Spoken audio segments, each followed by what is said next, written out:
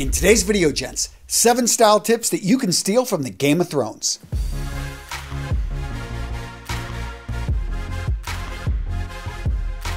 Lesson number one from Jaime Lannister learn to love your colors. When we look at the Kingslayer, what do we see? We see a guy that can wear his house colors very well. Now, he's got some pretty nice house colors gold and red. All of us have certain colors that are going to work for our complexion. And another thing that House Lannister loves gold. When we look at Jaime Lannister, what's he sporting? That gold hand. What a great accessory. Guys, now I'm not saying go out and get a gold hand, but do you like silver? Do you like platinum? Do you like bronze? Do you like gold? Do you like rose gold? Find something that works with your natural complexion. For me, I'm more of a silver kind of guy. I'm going to go for steel. I'm going to go for white gold, but find a way to bring it into an accessory. So even sunglasses, yes, you can actually go with silver or gold on there depending on your complexion with your skin. Find what works for you. Bring it into your accessories. Have fun with it. It's going to really level up your style. And gents, if you're just getting started, don't overdo it. Less is more. As Viserys Targaryen learned, there is such a thing as too much gold. Our next style lesson comes from Sir Bronn of the Blackwater. Know when to follow the rules and then know when to break them.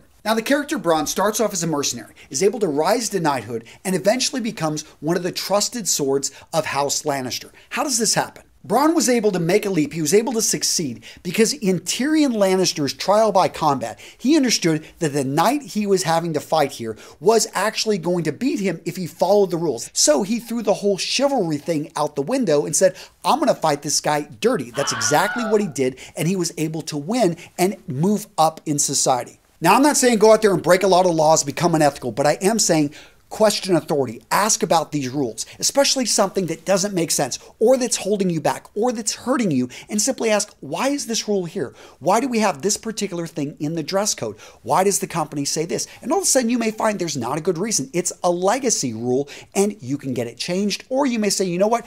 We need to break this because it's holding us back. It's holding us from fulfilling our potential. The next lesson, courtesy of Jorah Mormont, is take care of your skin. Now, if you remember from the show, so Jorah, he gets exiled and he fights his way back. He goes through gladiatorial battles. He gets turned into a slave. This guy is able to capture a Lannister. And in all of this, he makes his way back to Daenerys and then has to exile himself because he's got grayscale. Now, I'm not saying that, you know, Tiege Hanley here is going to fix grayscale, but it is a great system. But guys, it could be something as simple as taking this propane, yes, there's propane in this, and throwing this out, and instead using a shaving cream that's better for your skin. This next lesson from Tyrion Lannister develop your wit, develop your sense of humor. It can get you out of a lot of trouble. Now, what I love about Tyrion Lannister is this is a guy that got the short end of the stick genetically. However, he's been able to flip it and use his mind to his advantage. He's really sharpened the sword here. And I don't know what your situation is when it comes to money, when it comes to health, when it comes to your body.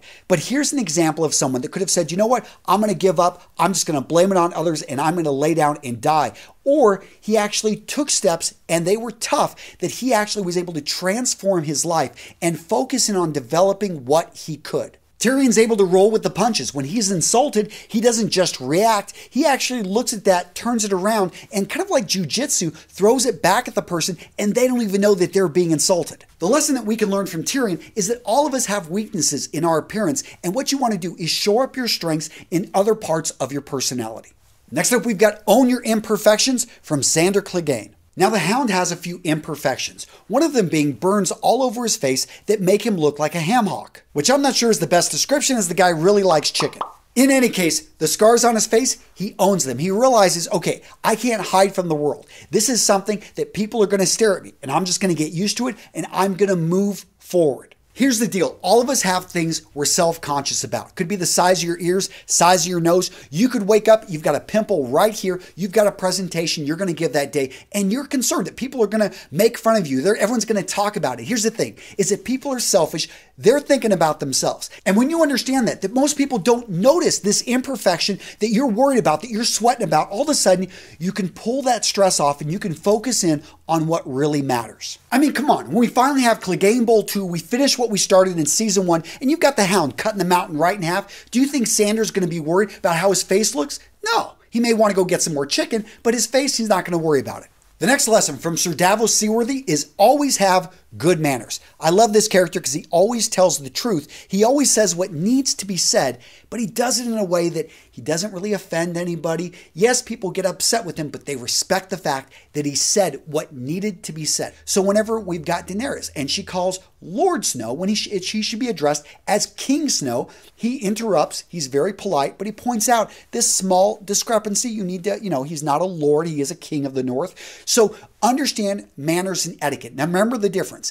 Etiquette, these are the rules that society puts forth. This is really geographic. With manners, they are the same around the world. And that is really treat people the way you would want to be treated. So sometimes you're going to break rules of etiquette to have good manners. And this is simply opening doors. This is waiting for other people to be seated before you eat your food. Pay attention to these things, learn them because they can serve you and they can keep you from losing your head. Not really losing your fingers, though. Ask Davos about that.